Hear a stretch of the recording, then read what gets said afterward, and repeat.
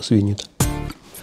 Уберите медные трубы, накиньте струны стальные, а не то сломайте зубы, обшироты наши смурные, искры наших искренних песен вам летят, как пепел на плесень.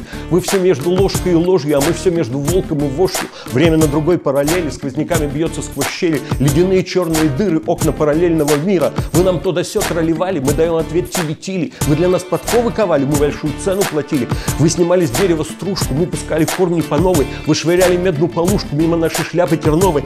Наши беды вам и не снились снились, наши думы вам не икнулись, вы наверняка подавились, мы же ничего, облизнулись.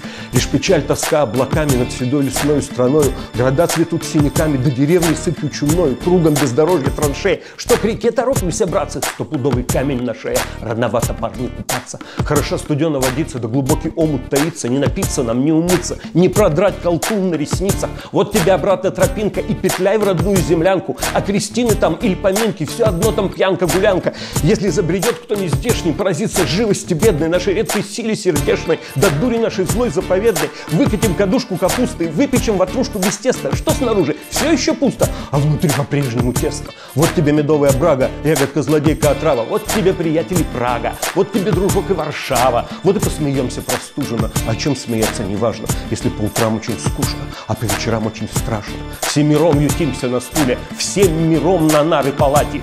Спи, дитя мое, люли-люли, некому березу целовать.